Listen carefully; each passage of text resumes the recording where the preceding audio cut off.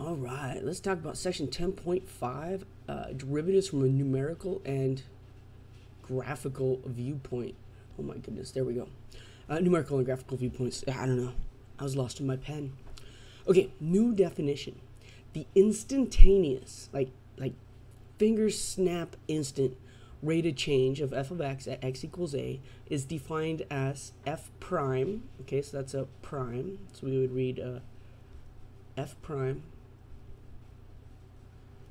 of A is, right, f prime of A is the limit as h approaches 0 of the difference quotient.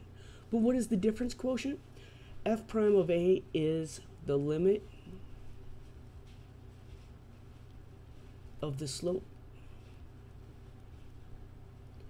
And it's the limit as the two points on the, the slope line get closer and closer together. So this quantity f prime of a is also called the derivative of f of x at a. So the instantaneous rate of change is also called the derivative.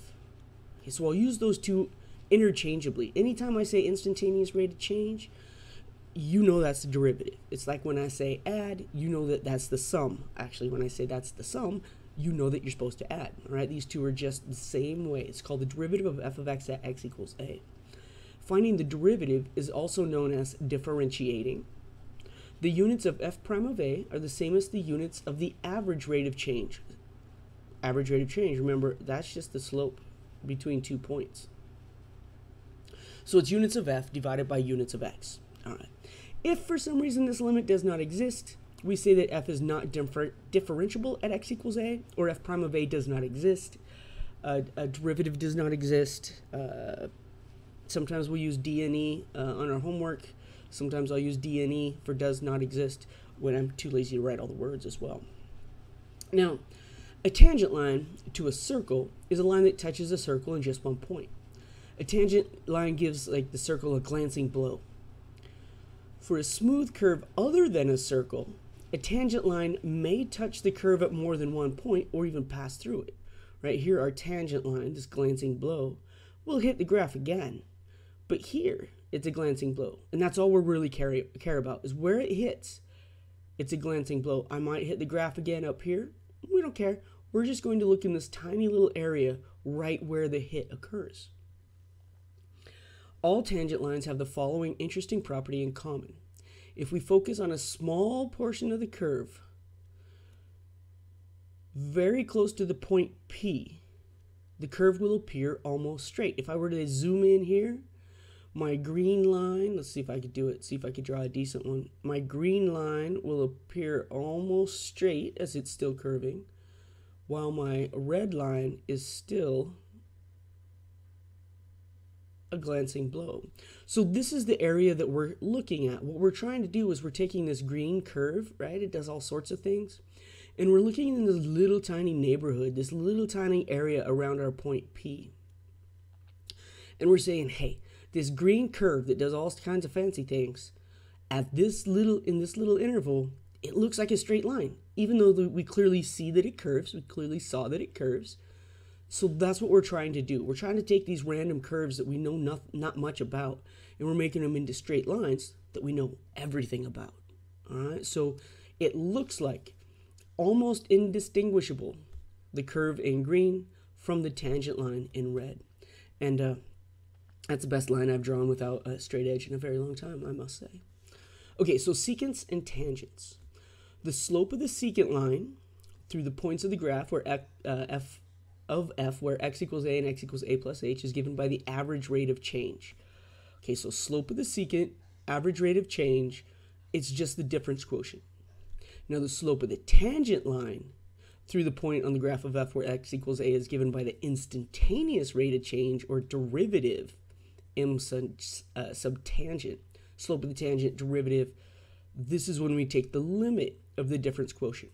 All right, so average rate of change is just slope. Instantaneous rate of change is when we let the two points get super close together, so we take the limit of the uh, slope values as one moves closer to the other.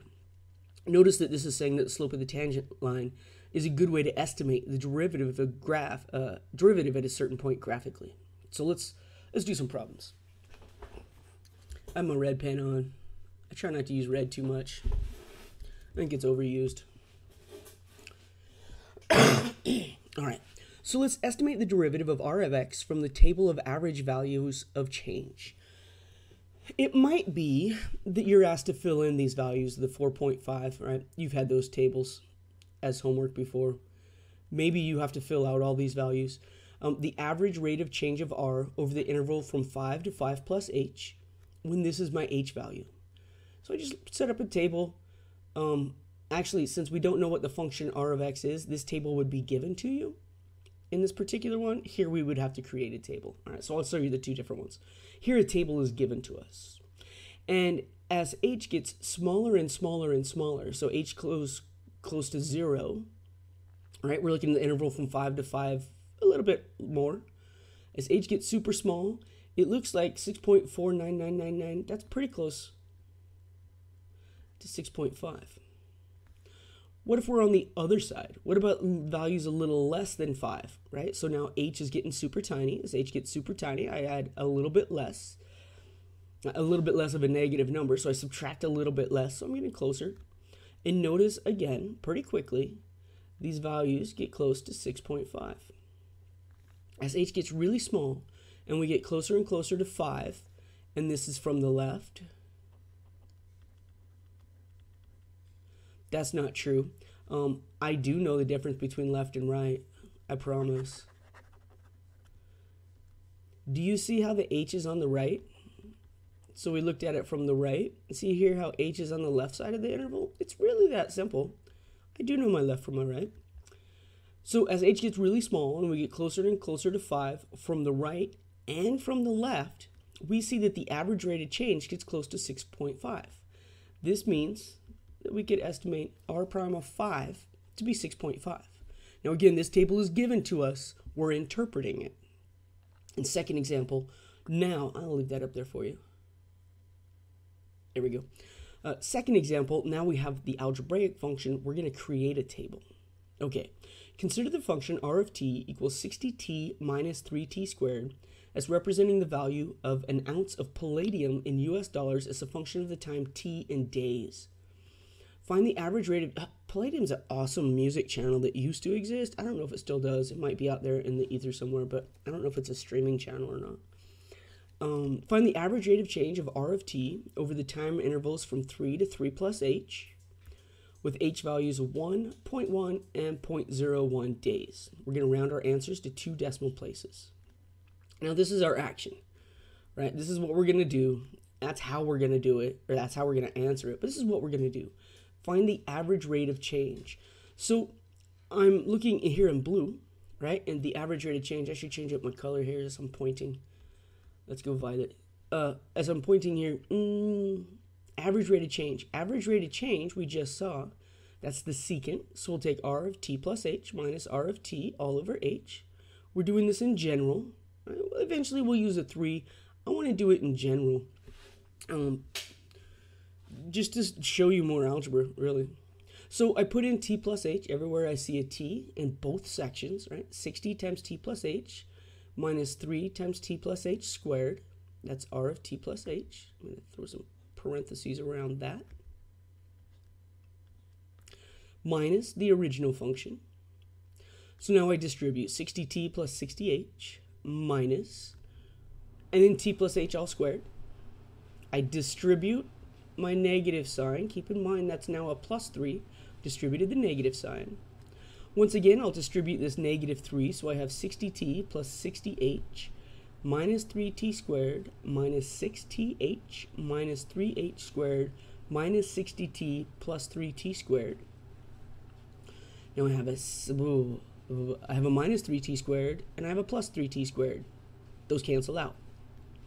I have a 60t and I have a minus 60t those cancel out. I'm left with a 60h, a minus 6th, and a minus 3h squared. Notice everything remaining has an h in it. That's why this division by h isn't such a problem. Once we have everything with an h in it, I'm going to factor out the h and then cancel to get 60 minus 6t minus 3h. Now, this is the generic formula, and that's why I like it, is because if you have a part B that says, what about the interval from 7 to 7 plus h? All right, so you could do multiple problems when you have the generic formula. Now, with t equals 3, all right, we could put t equals 3 in here. 60 minus 6 times 3 minus 3h, that's 42 minus 3h. So our function that we're looking at here is, what did I just say? 42 minus 3h. So I'll take when h is 1, 42 minus 3 times 1. When h is 0.1, I'll take 42 minus 3 times 0.1. And when h is 0.01, I'll take 42 minus 3 times 0.01, finding my values each time. And notice I put them both. The two that didn't already have two decimal places, I filled them in with zeros. Okay, and so I filled in the chart. Find the average rate of change over the time intervals, done. Round your answer to two decimal places, done. So now here in green underneath, it says next, estimate the instantaneous rate of change of r at time t, specifying the units of measurement. Now, that's why I did the general thing, because there was a next in general. As h gets smaller, right, as h gets smaller, all we're doing is take the, taking the limit as h approaches zero of this average rate of change. As h gets smaller, the average rate of change gets closer and closer to 42, right? As h goes to 0, this becomes 42. So we find the instantaneous rate of change, r prime, capital R, r prime of 3 is equal to 42. Now, what are our units? Um, the value of an ounce of palladium in US dollars in T days. So, dollars are function units per day, whoops, is our units of input, right, our t value. So we have r prime of 3 is $42 per day. Excellent. All right, approximating. Now we're just going to get to some, it's a whole bunch of algebra. The hardest part of calculus is always the algebra. So as long as your algebra is solid, you've got this. If your algebra is not solid, your calculus will be shaky. All right, so work on the algebra and it'll always make your calculus just that much better. We can calculate an approximate value of f prime of a by using f prime of a is approximately uh, the slope of the secant line for a small value of h. And frequently in real life, 0.0001 is generally good enough. And we have an alternative formula, right? This is just h from one side. But when we have a number line and we have a, why not add h and subtract h. Right, a distance of h units away, so this is h plus a, this is a minus h. I wrote that in the other order because of how I already had it labeled, but look at that. And what's that distance? Uh, this is a distance of h, this is a distance of h. All I'm doing is a different type of uh, formula, but it's always an estimate, all right? We're approximating. This is not equal to, but in many calculators, we use this whole uh, h on both sides and a 2h denominator. Okay, uh, estimate the derivative in two ways. Round your answer to three decimal places. So I went with the standard, instantaneous, and then I went with the approximation. All right, and the approximation is this one. So the instantaneous rate of change, f prime of negative 4, is uh, okay. Uh, estimate in two ways. So in, it's actually not the instantaneous rate of change. I didn't even read my notes. This one. Uh, this is the formula that I use. I'm gonna I'm gonna make this all better for you. Instead of whatever I just scribbled there. It's like you're in a real lecture now, right? Okay, sorry, just kidding. Um, this formula I use down here and this one I used for an estimate for the first. All right, so I use the secant as an estimate uh, with a small h value, um, uh, the h value of 0.0001. And then I used this uh, double h formula uh, for my second estimate. And it looks like I got the same values. Let's take a look. f of x is x over 5 minus 6 when x equals negative 4. We're going to find f prime of negative 4. We're going to estimate first f of negative 4 plus our h value, 0.0001, minus f of negative 4, all divided by h. I substitute this literally, uh, negative 4 plus that is negative 3 point,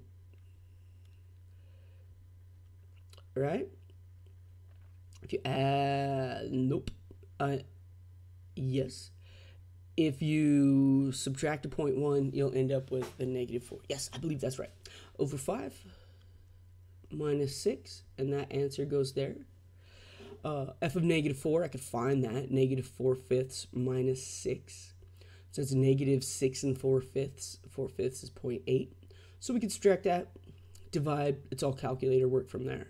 Knowing what to plug in, and really, even if you wanted to, uh, this same number that we have here, you could find it by doing negative 4 plus 0 0.0001 divided by 5 minus 6 on a calculator. That's exactly how I would write it. And I'd use all the decimal places. Just use them. It's not that many. Keep them in your calculator. Do what you need to do, and we can find our estimates. Now, scribbling all over this thing, let's find a, a happier color. Our notation, f prime of 4, has another variance. So if y, oh, you can't read that. Let's go black. If y is equal to f of x, dy dx is the same as f prime of x. All right, so the two notations uh, come to us actually from the two different inventors, or formalizers, I like to call them, of calculus. And so we have two notations, and sometimes one notation works better than the other. And you'll find this if you take higher calculus courses, because you find that you're so good at math you, you want to leave the businesses and, and become a mathematician, talk to me if that's where you're at. We can make that happen. Uh, if you want to make money, stay in the business department. Uh, again, all right, dy dx evaluated when x is equal to negative 5 is y prime of negative 5. And so I'm going to estimate that, right, with the secant function, or the so slope of the secant. Uh, y of negative 5 plus 0 0.0001 minus y at negative 5 all over that h value. Evaluate. Or do the double version, right? Negative 5 plus and negative 5 minus. Notice that the big, it's always big minus little. If I add a little and then subtract compared to subtracting a little, always 2 times h in that denominator. And look at that, our values come out the same. Okay, so these two notations, let's talk about it here. Two guys came up with calculus independently about 16 years apart. And this is when um, distance mattered. Uh, we're looking at, oh my goodness, 1500s, 1600s is what I'm thinking. Newton and Leibniz, I should know this. Maybe 17, we'll see, 16, 1700s. Today we use uh, parts of each theory. Recall that the average rate of change was the change in f divided by the change of x. And instantaneous change would be then the limit as h approaches zero of change of f over change of x. But delta is a Greek letter, and Leibniz was German. So instead of delta, he used a d. df dx is the limit as h approaches zero of delta f over delta x. This is not a fraction. It's a whole unit unto itself. This symbol tells you to add, right? This symbol tells you what to do. It says take 3 and add 4 to get 7. This symbol also tells you what to do. Um, this one says add. I apologize. It's trash deliver or trash pickup day, and my dogs love yelling at the trash man. Um, one moment, please, while I yell at them. So this df dx tells us take the derivative. All right, it's just a symbol. This symbol has two little lines. It's super easy. This symbol has letters. It's a little more challenging, but you're in a little more challenging class. All it means is take the derivative. All that means is combine the numbers, right? Um, so it's not a, a, fraction. It doesn't follow the rules of fractions. So this d dx portion is called the operator. It's telling you to find the derivative. And take the derivative of f is what this one says. This one says take the derivative where x is your variable. That's it. Take the derivative when x is your variable. All right. Last page. I know this one's getting a little long. That's all right. We're almost finished. Everything that we're going to do is now on the page. The derivative f prime of x is a number we can calculate or at least approximate for various values of x. Because f prime of x depends on the value of x, we may think of the derivative as a function. It's the derivative function. So here we have a definition. If f is a function, its derivative function, f prime of x, is given by f prime of x equals the limit as h approaches 0 of f of x plus h minus f of x all over h. You know that example earlier where I, I left the t in and didn't use the 3 with the r, uh, $42 a day? This is what I was doing. I was just keeping it general and plugging in our specifics later. I shouldn't have, but I did. Definition. For an object moving in a straight line with position s of t at time t, the average of velocity from time t to time t plus h is the average rate of change of position with respect to time. All right, so position is s, so it's change in s divided by change in time.